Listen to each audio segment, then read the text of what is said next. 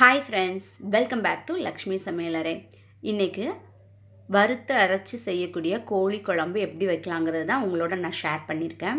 கண்டிப்பாக இந்த வீடியோ ஃபுல்லாக பாருங்கள் பார்த்துட்டு உங்களுக்கு எப்படி இருந்ததுங்கிறத கமெண்ட்டில் ஷேர் பண்ணுங்கள் உங்களுக்கு பிடிச்சிருந்துன்னா லைக் பண்ணுங்கள் உங்கள் ஃப்ரெண்ட்ஸோட ஷேர் பண்ணிக்கோங்க. ஃபஸ்ட்டு அடுப்பு ஆன் பண்ணிவிட்டு ஒரு பேன் வச்சுருக்கேன். அந்த கடாயில் எண்ணெய் ஊற்றிருக்கேன் நீங்கள் எண்ணெய் என்னன்னாலும் ஊற்றிக்கலாம் நான் நூற்றம்பது கிராம் சின்ன வெங்காயத்தை அரைச்சி இதோட சேர்த்துருக்கேன். இந்த குழம்புக்கு நீங்கள் சின்ன வெங்காயம் சேர்த்துக்கிட்டால் தான் ருசி ரொம்பவே நல்லாயிருக்கும் இது நல்லா அரைச்சிட்டு இதோடு சேர்த்து நல்லா வதக்கிக்கோங்க. அந்த எண்ணெயில் அந்த நிறம் மாறுற வரைக்கும் நம்ம வதக்கணும். இப்போ பாருங்கள் இந்த அளவுக்கு நல்லா வதங்கியிருக்கு. கீழெல்லாம் அடிப்பிடிக்காமல் எடுத்து விட்டு நல்லா வதக்கிக்கோங்க. அப்புறம் இஞ்சி பூண்டு பச்சை மிளகா. ஒரே ஒரு பச்சை மிளகா சேர்த்துருக்கேன். பச்சை மிளகா நீங்களும் சேர்த்துக்கோங்க. அது நல்லாயிருக்கும் டேஸ்ட்டு. அதை வதக்கினதுக்கப்புறமா நான் மூணு ஸ்பூன் மல்லிப்பொடி ரெண்டு ஸ்பூன் வத்தப்பொடி கொஞ்சமாக மஞ்சள் பொடி மசாலா எடுத்து வச்சுருக்கேன். அதையும் இதோட சேர்த்து நம்ம வந்து வதக்கிடலாம். இப்போ அந்த இது எண்ணெயோட நல்லா வதங்கி வந்ததுக்கப்புறமா நான் வந்து அரை கிலோ அளவுக்கு சிக்கன் எடுத்து வச்சுருக்கிறேன். இப்போ இந்த சிக்கனை நல்லா கழுவி சுத்தமாக எடுத்து வச்சுருக்கேன். அதை இதோட சேர்த்து இந்த மசாலாவோடு சேர்த்து நம்ம அதை வந்து பரட்டி கொடுக்கணும். நான் ஒரு கையில் கேமரா வச்சதுனால என்னால் அப்படி கவர் பண்ண முடியல. இப்போ பாருங்கள் நல்லா அந்த மசாலாவோடு அந்த சிக்கனை நல்லா பரட்டி கொடுத்துட்டேன். அதுக்கப்புறமா மூடி போட்டு ஒரு மூணு நிமிஷத்துக்கு வச்சுருங்க.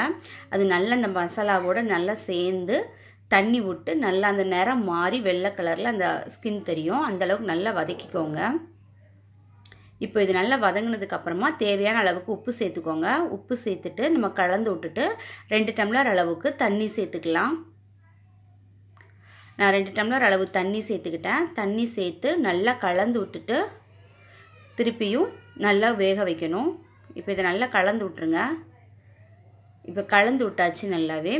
இதை வந்து ஒரு இருபது நிமிஷத்துக்கு மூடி போட்டு நல்லா வேக வைக்கலாம். இது இந்த பக்கம் வெந்துக்கிட்டு இருக்கட்டும். இதுக்கு வந்து தேங்காய் வறு இருக்கக்கூடிய பொருள் என்னங்கிறத பார்த்துடலாம். ஒரு டேபிள் ஸ்பூன் சீரகம் ஒரு டீஸ்பூன் மிளகு ஒரு அஞ்சு முந்திரி பருப்பு பட்டை நாலு கிராம்பு ஒரு அன்னாச்சிப்பூ கல்பாசி. இதெல்லாம் எடுத்து வச்சுக்கேன் என்கிட்ட சோம்பு இல்லை. நீங்கள் சோம்பு இருந்ததுன்னா அதையும் சேர்த்துக்கலாம். இப்போ இது எல்லா இது எல்லாத்தையுமே மீடியமில் வச்சு நீங்கள் வறுத்து எடுத்துக்கோங்க.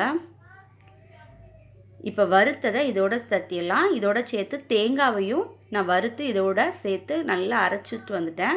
நல்லா ஃபைனாக எவ்வளோ அரைக்க முடியுமோ அவ்வளோ அரைச்சிக்கோங்க. இப்போ குழம்பு நல்லாவே கொதித்து ஒரு எயிட்டி பர்சன்டேஜ் நல்லா வெந்துட்டு இப்போ கொதிச்சுக்கிட்டு இருக்க குழம்போட நான் அரைச்சிட்டு வந்தால் தேங்காய் பேஸ்ட்டு இதோட கலந்துடலாம் இதோட கொ கலந்து நல்லா ஒரு பத்து நிமிஷத்துக்கு நல்லா கொதிக்கணும்.